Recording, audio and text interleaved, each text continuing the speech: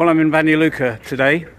It's around midday, so I'm at the big market, uh, which has everything from fish through meat, uh, the most amazing fruit and vegetables, and much, much more. In fact, there's one place dedicated to clothing. Quite cheap clothing, I have to say. But if you need clothing and you're on a budget, you'll get it here. The sign is over my shoulder. I think you can just uh, see it there.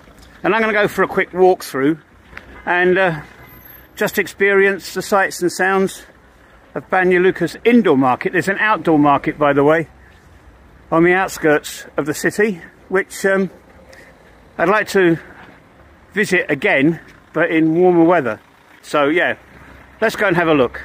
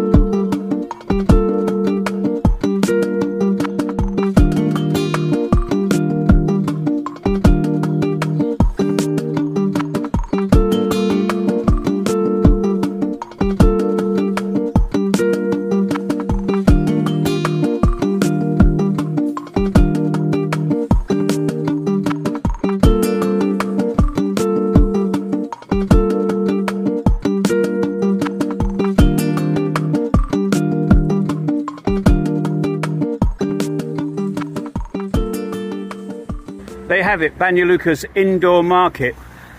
I think every day except Sundays. I'm sure somebody watching this will correct me if I'm wrong, but the produce there is first class. And I might be saying something that isn't totally true, but as far as I'm concerned, the use of pesticides uh, on these products that are for sale is minimal, if at all. But uh, if you're visiting Banja Luka, do come and visit uh, the market.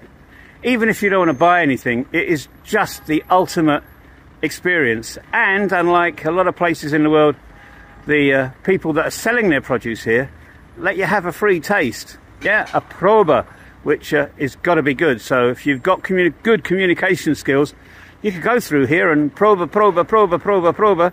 Most probably have a nice, healthy breakfast. But that'll be up for you to try.